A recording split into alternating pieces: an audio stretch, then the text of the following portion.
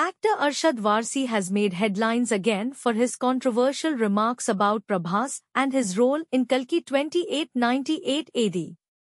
In a recent interview, Warsi openly shared his disappointment with the film, stating that Prabhas' appearance resembled that of a Joker. He expressed that he had expected a more rugged look, similar to Mel Gibson's portrayal in Mad Max, which would have better suited the action-packed narrative.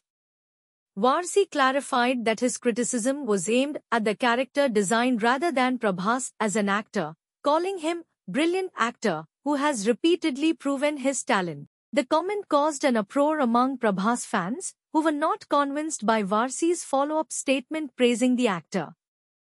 Despite the clarification, Warsi's original remarks sparked controversy, and his opinions continue to stir debates on social media platforms.